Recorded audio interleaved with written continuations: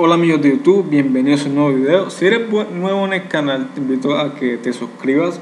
Semanalmente vamos a estar subiendo contenidos, eh, videotutoriales muy buenos acerca de AutoCAD, entonces para que estés pendiente. Entonces, en este video les voy a enseñar cómo se usa la cámara en AutoCAD, cómo se crea y cómo se usa. La cámara normalmente tú la puedes usar para enfocar una vista específica o la mayoría de los casos se usa para, para lo que es arquitectura. Caso tal tú quieras tomarle un render a un cuarto eh, y no se te complica un poco lo que es la vista en el template, pues pones una cámara y listo. Ya les voy a mostrar cómo se hace. ¿Cómo tú, enfoca, cómo tú creas la cámara? Perdón. Lo primero que tú tienes que hacer es irte aquí a la pestaña visualizar. Vuelvo y recalco.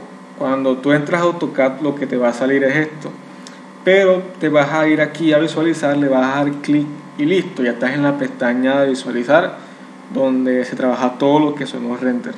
Entonces, ¿cómo tú creas una cámara? Tú la creas aquí, en crear cámara. Le das clic aquí y te sale como una cámara, no sé si la, logran ver, que es como azul. Bueno, esta es la cámara con la cual vamos a trabajar. Ustedes la pueden mover donde ustedes quieran. Le van a dar clic y la cámara te pide que tú enfoques el objeto que tú quieres renderizar y que elijas un punto fijo para la cámara. Por ejemplo, yo quiero elegir este punto, este vértice y listo. Entonces aquí te pide como que ciertos parámetros, nombre de la cámara, ubicación, altura, mira, eh, distancia focal, etcétera. Ustedes lo configuran si quieren. Yo de pronto no, es que sea muy endeme de hacerlo. Y una vez hayan, hayan hecho todo eso, le van a dar enter y la cámara les va a volver a aparecer. Si le dan clic a la cámara, ven que sale como un rectángulo que te dice el área que te está enfocando.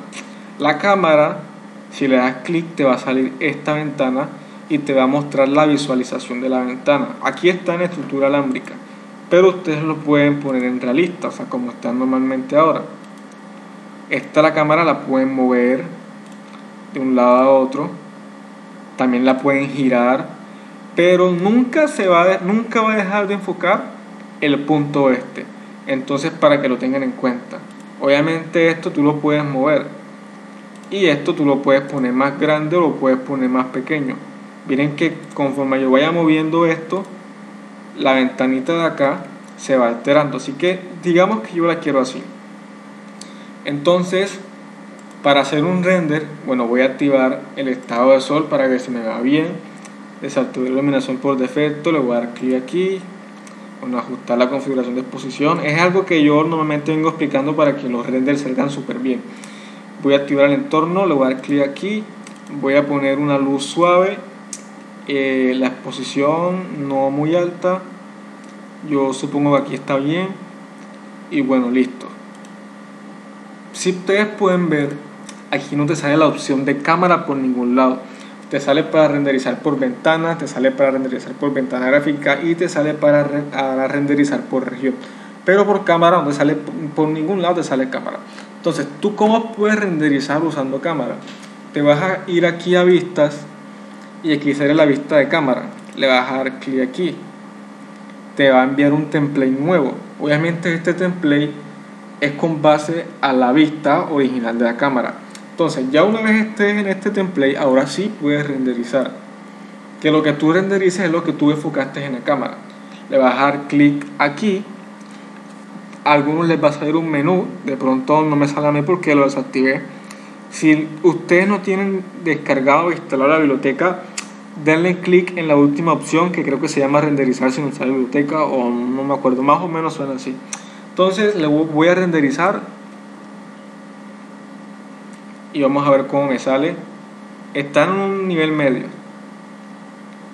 Y bueno, de pronto aquí no me salió mucho porque el estado sol lo tenía un poco desactivado. Lo, lo tengo desactivado, así que lo voy a volver a, a, activar. Y aquí es otra, es otra cosa. Ya se activó, tengo luz suave, rotación, exposición bien.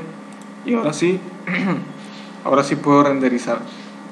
Entonces vamos a renderizar otra vez lo dejé en un estado medio y si pueden ver ahora el render sale mucho pero mucho mejor obviamente sale como un poco pixeleado pero es por la calidad del render lo usé en medio como les dije, de acuerdo a sus intenciones de renderizar, si llega un render pero uno a se van a demorar un poquito más. Pero como es un tutorial, me tomé el tiempo de hacerlo en medio. Y bueno amigos, esto es todo por hoy. Así es como se renderiza en cámara y les enseñé también cómo, o sea, unos cuantos parámetros y cositas que tienen que tener en cuenta para el momento de renderizar. Entonces espero que les haya gustado este video, que le haya ha sido pero demasiada ayuda. Si les gustó suscríbanse, denle like, compártanlo con sus amigos. Semanalmente vamos a estar subiendo contenido AutoCAD. Y bueno, nos vemos en el próximo video.